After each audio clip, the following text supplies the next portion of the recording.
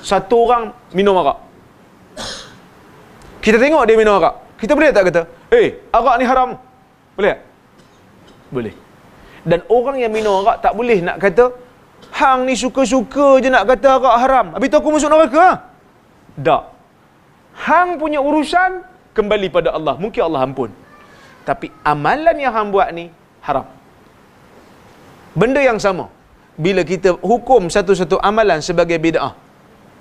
Nabi kata bid'ah itu sesat. Dalam riwayat Umar kata sesat dalam neraka. Jadi bid'ah sesat masuk neraka. Ada orang dia panah dengan istilah ni. Ni semua yang kata bid'ah-bid'ah ni suka nak nak menerakakan orang. Suka bid'ah orang, suka neraka ke orang. Tak. Menghukum amalan sebagai bid'ah tidak menghukum pengamal dia. Tuan-tuan, Syiah ahli bid'ah ke ahli sunnah? Ha? Ahli bid'ah. Ada siapa-siapa tak setuju? Cuba kalau bid'ah, cuba kalau Syiah dengar. Dia panas tengok tak? Dia panas telinga juga. Habis tu kita nak tarik balik. Oh, dah, dah, dah. Hang sebenarnya ahli sunnah. Mana boleh? Dia syiah. Dia tetaplah ahli bid'ah. Tapi dia dengan Allah, urusan dia. Akidah dia atas bid'ah. Tapi dia, batang tubuh dia, belum tentu dalam neraka. Mungkin Allah ampun. Mungkin dia sebab ikut syiah. Makcik buat roti dekat Tehran. Contohnya. Makcik buat teh dekat kopi apa dekat kedai kopi kat Tehran. Tak tahu apa benda. Kita Arab pun tak boleh baca. Dia Parsi. Dia ikut dia. Ikut suka dia. Tahtal masyiah. Kembali pada Allah urusan dia. Mungkin jahil dia tu menyebabkan Allah Ta'ala ampun dia. Berbeza dengan orang yang pernah dengar hujah daripada ahli sunnah. Tapi keras kepala tak mau terima. Yang ni tak ada uzur. So kita kena beza tu. Bila orang tanya kita, Ustaz apa hukum ni Ustaz? Bida'ah. Ha? Kalau orang buat masuk neraka lah Ustaz. Tok nenek kita dulu dalam neraka lah. Dah tak? Amalan tu je bida'ah. Tok nenek dulu, mungkin dia orang tak tahu. Allah Ta'ala ampun. Mungkin berpahala kerana niat mereka nak merayakan ataupun nak menghargai Nabi Muhammad sallallahu alaihi wasallam tapi mereka tak jumpa cara yang yang sunnah. So kita kena kena hati-hati tuan-tuan. Dia tak boleh bab ni kalau nak bincang tak boleh emosi. Kalau emosi dia tak jadi. Sagi kalau kita baca kitab-kitab fiqah, tengok ulama hukum masalah bid'ah. Tuan-tuan terkejut tuan-tuan. Saya bagi satu contoh. Akikah dalam mazhab Hanafi apa hukum? Akikah. Tuan-tuan buat akikah? Buat kan? Dalam mazhab Hanafi akikah bid'ah. Ha? Jumpa mazhab Hanafi lempang.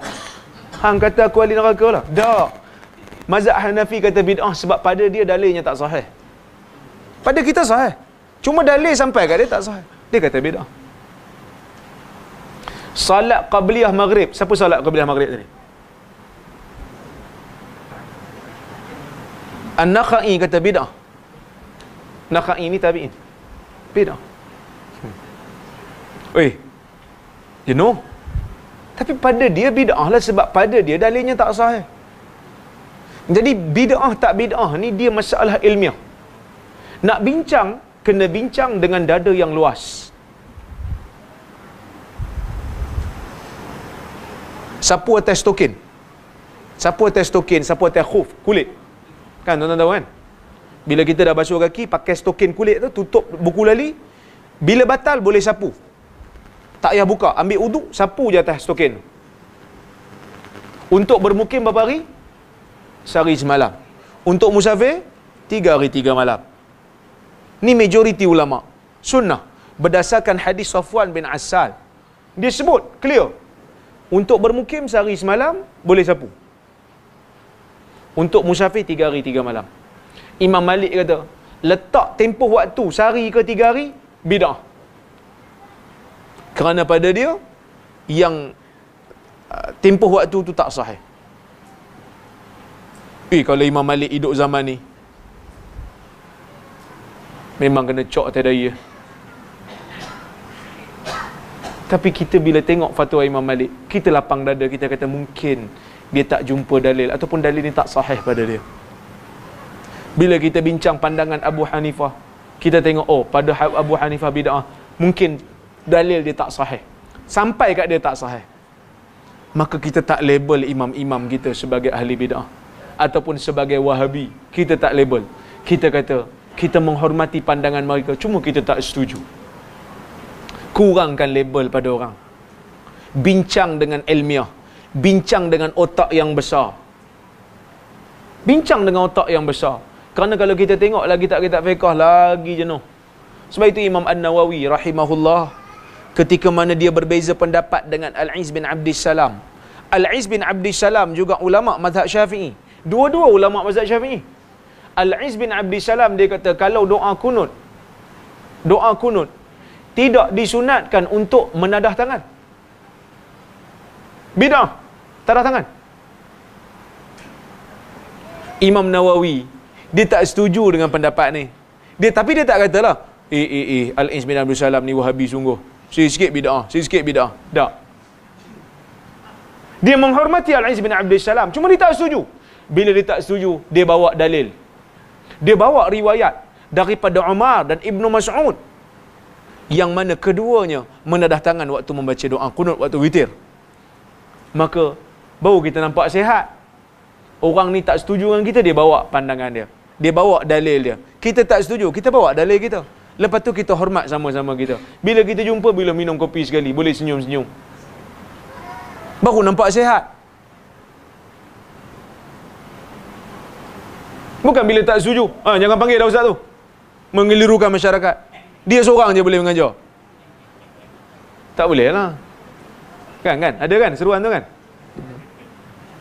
Seruan jangan panggil tu. Ada. Jangan panggil ustaz tu. Penin nanti. Tak. Masalah penin.